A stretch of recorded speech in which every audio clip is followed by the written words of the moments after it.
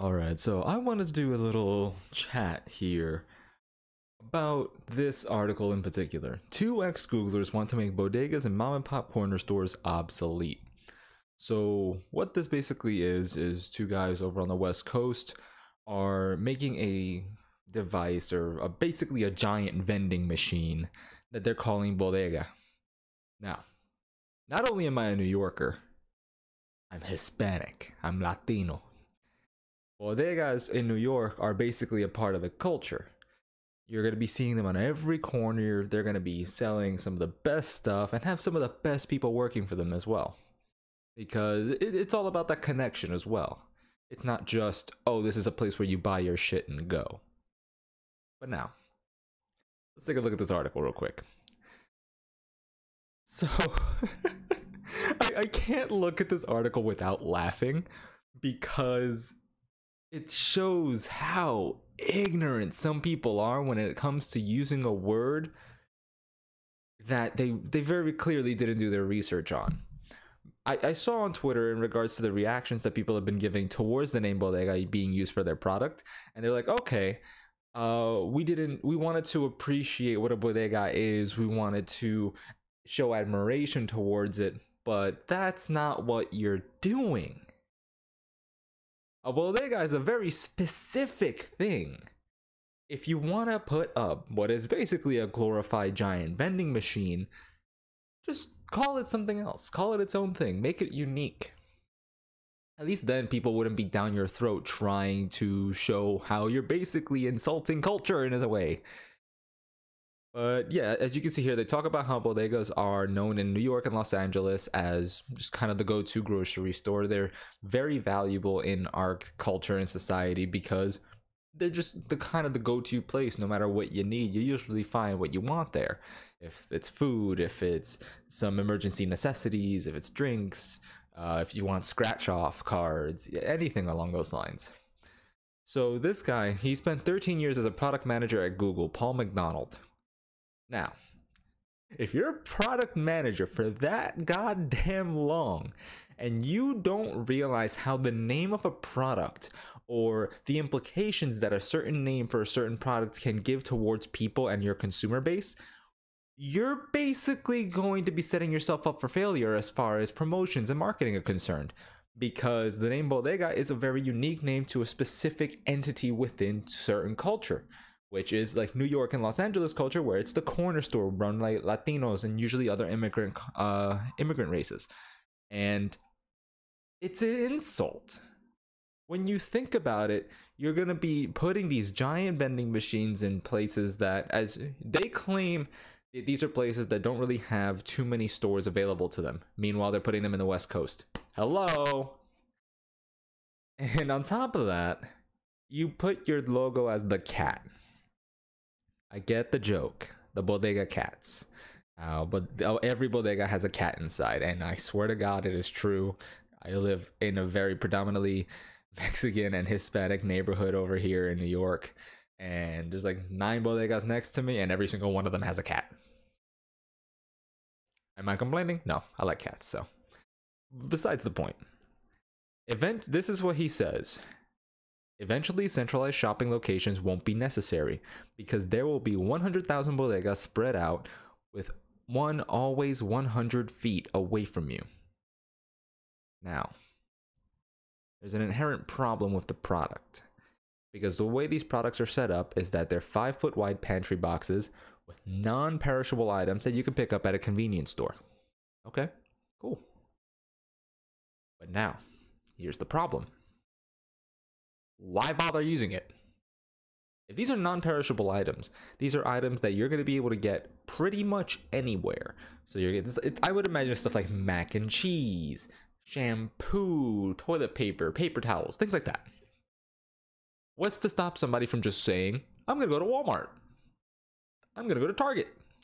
I'm going to go to Stop and Shop. I'm going to go to Pathmark, Key Food, any of these bigger chains that would usually have these exact same items for a much lower price. Even I have to admit that I'd rather go to someplace like Stop and Shop, buy slightly in bulk compared to going to a bodega and getting a box of mac and cheese. a box of mac and cheese in Stop and Shop, you can get three for the same price as you would for one in a bodega. But that's usually because of the cost of acquisition. But now, what you're trying to do is take that exact model of just having these perishables, have it with automation, which is going to bring up your cost, restocking fees, which is going to bring up your cost, and monitoring fees, which is going to bring up your cost. Meaning, to sell those, all those items, you're going to raise up those costs as well. So it's like pseudo inflation in a way, but it's all done by themselves. There's no reason for people to go ahead and use these boxes. It doesn't solve an immediate problem. It's never been a source of, oh man, there's no stores near us. Oh no, on the West Coast, we can't get anything nearby. In some cases, that may be true, but also on the West Coast, most people have vehicles. In New York, pretty much no matter where you go in New York, at least within the, the boroughs, you're going to be next to some sort of public transportation, which there's bodegas everywhere too. So even if you're passing by to try and get to a form of public transportation, you're going to be passing by at least four stores. On the other side, you're going to be passing a lot more larger big box stores. You're going to be passing Targets, Walmarts, Lot List, um, Safeway, and all stores like that what's to stop you from just going there? There's no immediate problem being addressed here. And on top of that, it's not like it's making things easier or better, especially if because of the cost that it's going to choose uh, to because of the cost that it's going to be to actually install one of these things and to stock it up and to monitor it constantly and switch out the inventory constantly, it's going to bring up the prices of everything that's in there. Unless by some magic, they're able to go ahead and work out a deal with the suppliers to sell them for much cheaper to have them in those boxes, which that will never happen. It will not. That's just not how economics works. If they're going to be putting their product out there, they're going to want to make a return on it per sale. And it's not like they're going to end up buying in surplus and then putting them in those machines to sell for uh, the same price as the surplus. You're going to be selling them for higher so that you can make a profit.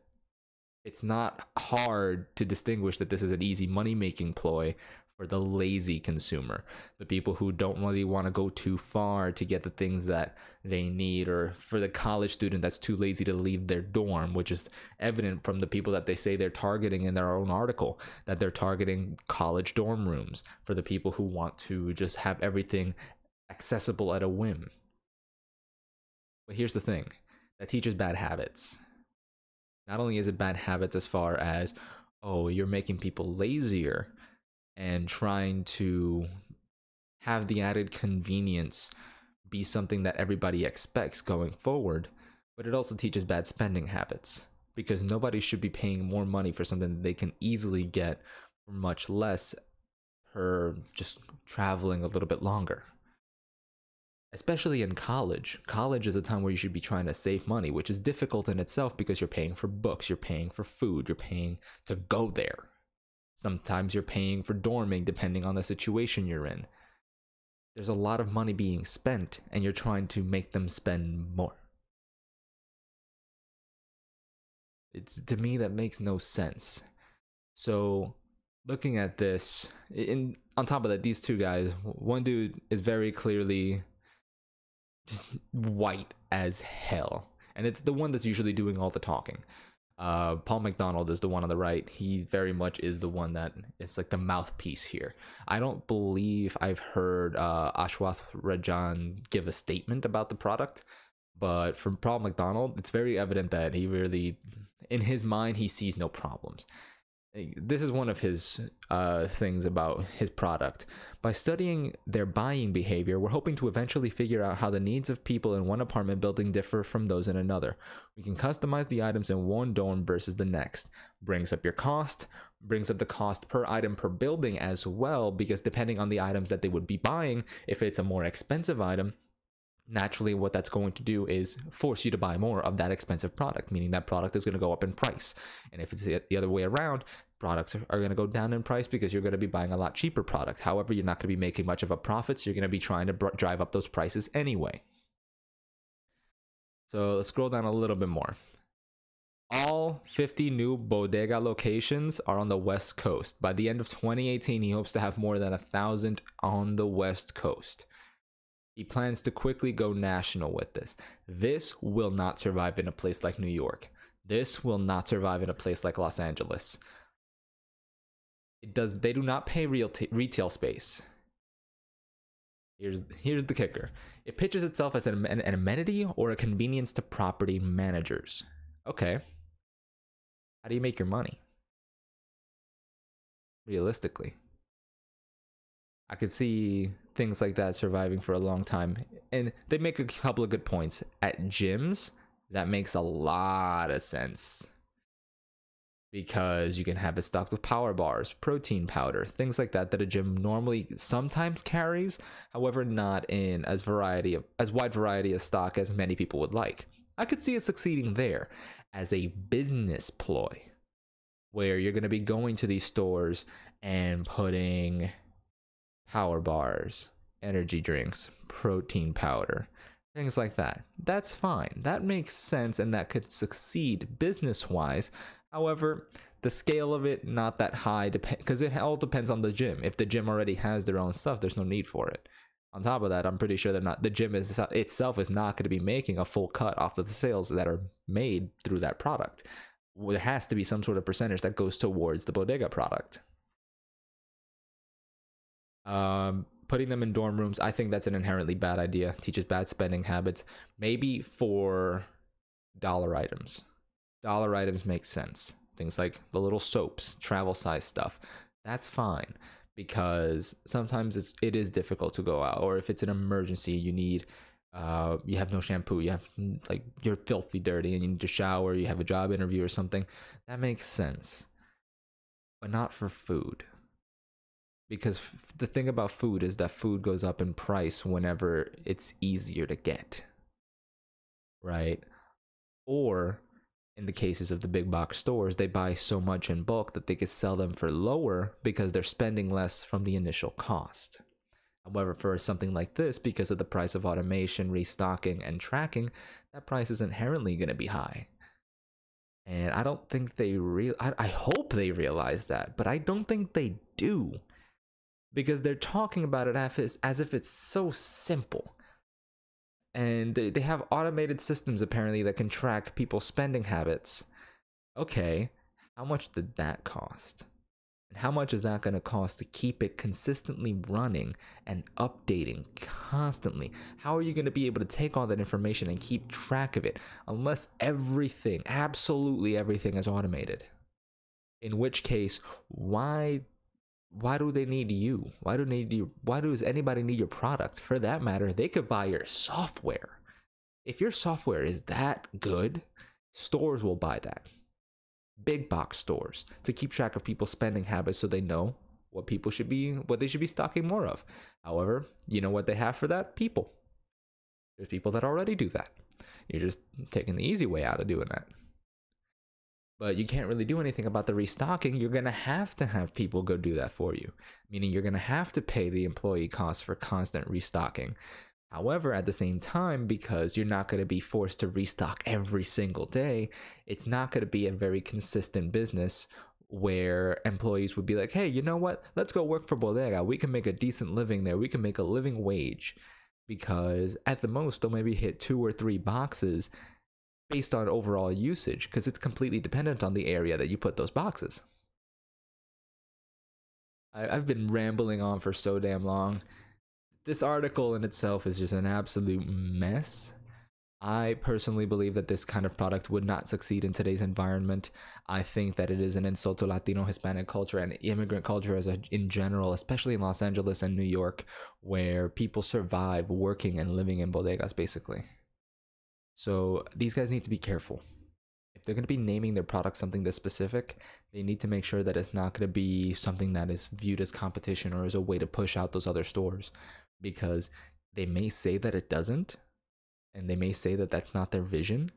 However, if say they're able to actually bring down their price the prices for everything that they put in there to where it's much more affordable than going to a bodega or a big box store then then that's where it's gonna really hit the bodegas hard.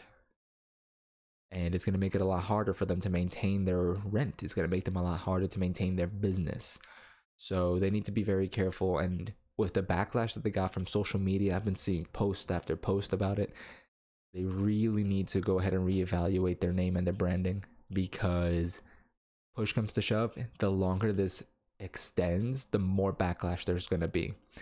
They can try and say, "Oh, we're we we want to go ahead and show appreciation towards these people and what they do.